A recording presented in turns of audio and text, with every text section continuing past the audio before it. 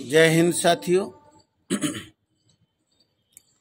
आज का मेरा विषय है कि भारत में नफरती बातों का प्रभाव और उन्हें अपने हृदय में न रखना। एवं भारत सरकार, प्रदेश सरकारों से विनम्र निवेदन करना कि ऐसे नफरती भाषणों को देने वाले व्यक्तियों पर कड़ी से कड़ी सजा का प्रावधान करें और रोकने के लिए प्रयास करें।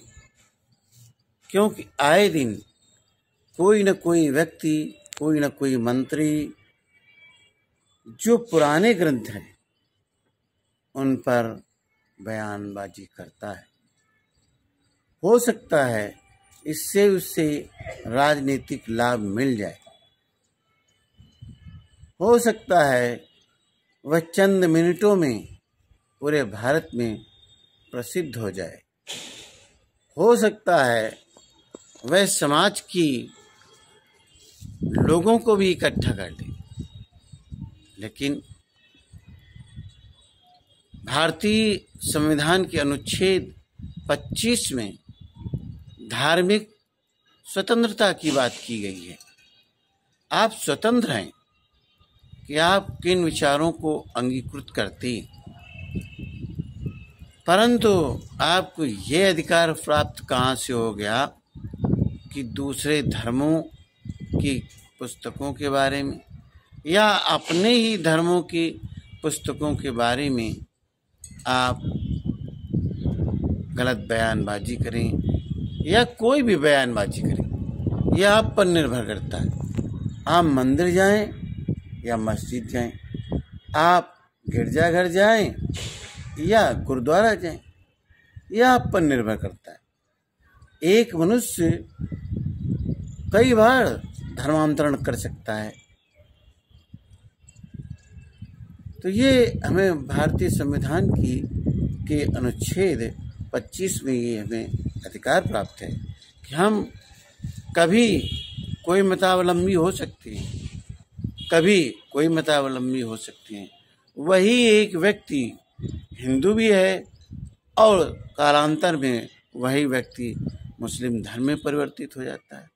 वही व्यक्ति ईसाई बन जाता है। वही व्यक्ति पुनः हिंदू बन जाता है, वही व्यक्ति बौद्ध बन जाता है। तो ये आप पर है।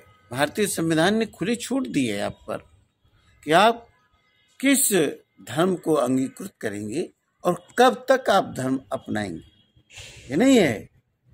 धार्मिक आज़ादी की बात की गई है। तो इस इस अधिकार को आप अपनाएँ और जो आपको अच्छा लगता हो धर्म, उसको अपना ले, जब तक अच्छा लगता हो। परंतु आप किसी भी धर्म या किसी भी धार्मिक पुस्तकों के बारे में आप अपनी राय मत व्यक्त करिए। इससे सामाजिक ताना बाना प्रभावित होता है। इससे समाज के अंदर आक्रोश पैदा होता है। मैंने 205 विधानसभा रसूलाबाद, कानपुर देहात से एमएलए का चुनाव, विधायक का चुनाव लड़ा हूँ। ये असम्बली इलेक्शन 2022 का। और मैं 315 गाँव 406 बूथों का बूथों का भ्रमण किया हूँ। मैंने अपने यूट्यूब पर, मैंने अपने व्हाट्सएप पर ऐसे कोई भी मैसेज नहीं लिखे या अपने भाषणों में कहा जिससे किसी की भावना को ठेस पहुँचता हो।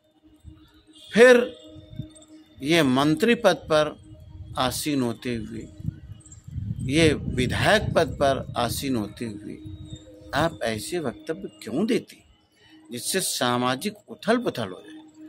आपका राजनीतिक उद्देश्य पूरा हो सकता है। आप अपनी पार्टी को बहुमत की सरकार बना सकते परंतु ये धार्मिक भावनाएँ, ये जाति भावनाएँ भड़का कर आप क्या हासिल करना चाहते भारतीय संविधान में सभी जातियों को समान माना गया है और जाति विहीन समाज की परिकल्पना की गई भारतीय संविधान में। जिसके लिए बाबा साहब डॉक्टर भीमराव अंबेडकर सतत प्रयत्नशील रहे, कोलंबिया विश्वविद्यालय में 1916 में उन्होंने भाषण दिया था कि भारत देश में जाति विहीन समाज की आवश्यकता है। और उसी समय महात्मा गांधी ने भाषण दिया था बनारस में देश की आज़ादी के लिए। तो आप ये समझिए, बाबा साहब का वैचारिक मतभेद ये था, देश आज़ाद हो, लेकिन जात विहीन समाज आगे बढ़े, तभी हम भारत को एक विकसित राष्ट्र के रूप में देख पाएँगे। ये जाति वैमनस्यता, धार्मिक वैमनस्यता फैलाकर लोग अपना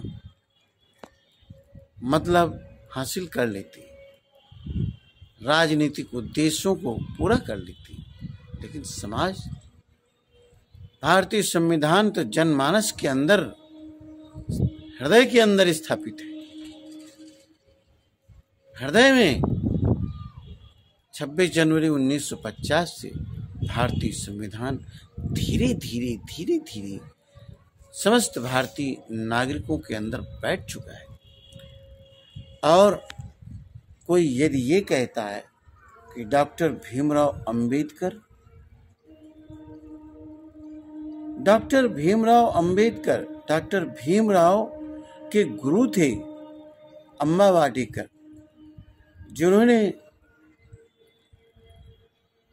शिक्षा के दौरान, पढ़ाई के दौरान अपने पास भीमराव अंबेडकर जी को बैठाकर पढ़ाते थे, खिलाते थे।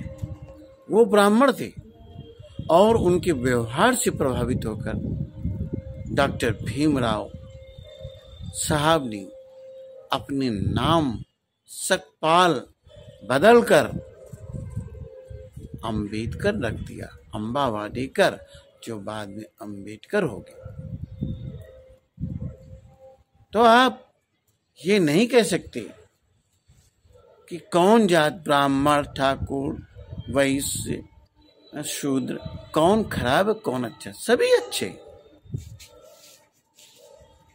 सभी अच्छे, सभी सम्मानित हैं, सभी डिग्निफाइड हैं। आपको ये मालूम होना चाहिए कि भारतीय संविधान में सब लोग डिग्निफाइड हैं, सब लोग आदरणीय हैं, सब लोग सम्मानित हैं। इसलिए हमें कोई ऐसा वक्तव्य देने से बचना चाहिए, जिससे कि मनुष्य के अंदर एक गलत भावना हो, आक्रोश पैदा हो, एक दूसरे के प्रति वैमनस्यता फैलती हो, ऐसे वक्तव्यों को देने से बचना चाहिए और भारत सरकार और प्रदेश सरकारें ये सुनिश्चित करें कि ऐसे मंत्रियों को, ऐसे विधायकों को, ऐसे लोगों पर तत्काल कानूनी कार्रवाई कर उनको दंडित किया जाए, ताकि समाज के अंदर एक जो सामाजिक समरसता है, समानता है, सद्भाव है, प्रेम है, उसको बरकरार रखा जाए। आज भी चाहे वो जिस गाँव में आप जाइए, वहाँ सामाजिक जातियाँ हो सकती समाज में, लेकिन समाज के लोग एक दूसरे के बारे में चिंतन करते हैं, एक दूसरे का सहयोग करते हैं। इसलिए हमारा सभी धर्मों के लोगों से अनुरोध है कि आप अपने अपने धर्म पर आधारित जीवन जिए। आप अपने अपने धर्म का प्रचार और प्रसार भारतीय संविधान के अंतर्गत जो नियम, कायदे, कानून हैं, उनमें रहकर आप प्रचार प्रसार करें और आप उसमें खुश रहें। परंतु भारत के किसी भी भाग में आपको ये अधिकार नहीं है कि ऐसा वक्तव्य दें ताकि लोग में आक्रोश हो, गुस्सा हो और आपस में लड़ाई झगड़े करने लगे शांति बरकरार रहनी चाहिए peace and tranquillity to be maintain in all the part of India by any means so it is the humble request from my side to take appropriate action against those persons who involve who indulge in such type of antisocial activities. Thank you very much being with me. I am Dr. Santoshi Kaman, advocate, speaking to you all. If you like this channel, kindly subscribe and share to your friend. Thank you very much being with me.